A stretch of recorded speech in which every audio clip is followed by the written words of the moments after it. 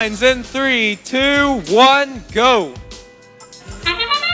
Red Robots jump into action first. That is 2582, the Panther Bots from Lufkin. Also 7179, Crossfire trying to wipe that hatch panel on scoring position. The Panther Bots got theirs for red with two seconds. One, up goes the Sandstorm. Drivers with their newly gained vision can keep controlling their robots. Crossfire did manage to drop that hatch off. But our team from Lufkin in red already has a ball in their possession into the cargo ship as they take the lead, 23 to 11 now. Matched quickly by a score from Blue, that every bot style. From 70, 75-35, Purple Poison.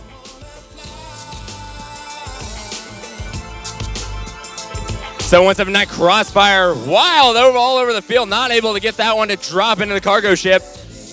Here comes Lufkin. They've been pretty consistent all match, lining up for a third ball into their cargo ship. Got him. Up and good. Crossfire matches, though, for the Blue Alliance. This is a close one. Just a few points separate these teams. Crossfire picking up and launching another ball. 30-37, trying to play some defense on him. Score narrowed to just one point difference between these alliances.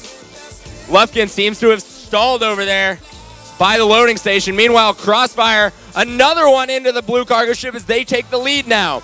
We have the, we hit the one minute mark in this match. 73-19 working on scoring a hatch panel. I think they got it.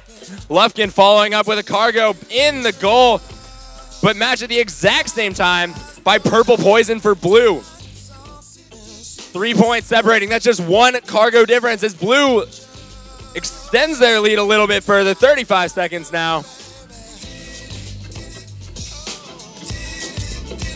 30-37, that's the Lowbots living up to their name. That little low robot playing some mean defense. As we hit the 30 second mark, though, they got to be careful with penalties.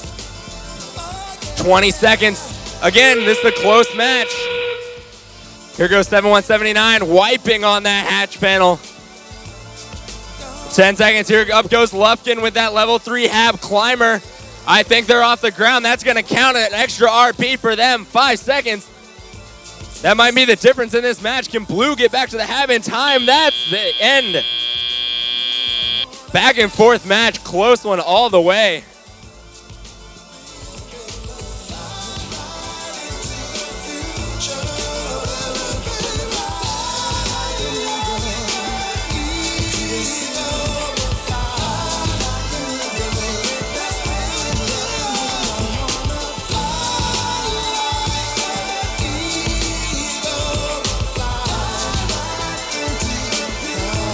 All right, looks like we have scores coming up from that match.